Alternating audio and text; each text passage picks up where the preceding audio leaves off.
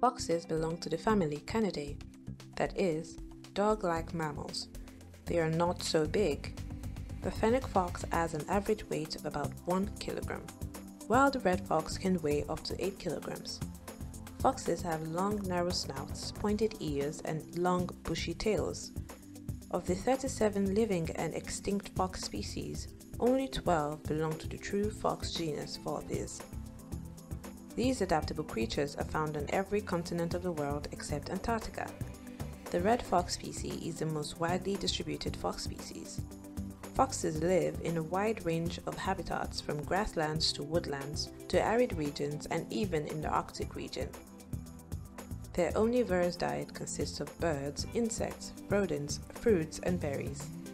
Foxes that live in urban areas also feast on food scraps. The Arctic fox is specially adapted to live in the Arctic in temperatures as low as minus 50 degrees Celsius. Their short legs, ears, and snouts help to reduce heat loss, while their thick fur keeps them warm. They also have fur under their paws to keep them warm.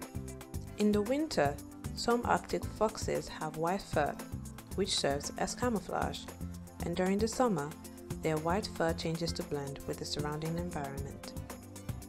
The fennec fox is well adapted to live in the desert. They have thick and sand-colored fur that helps reflect the sun, keeping them cool during the day and warm during the cold desert night. They have hairy feet and that protects them from the hot desert sand. Their large bat-like ears help radiate heat out of their body, keeping them cool. Male foxes are called dogs, reynards, or tods, while females are called vixens and baby foxes are called cubs, pups, or kits. The number of cubs a vixen gives birth to varies by species.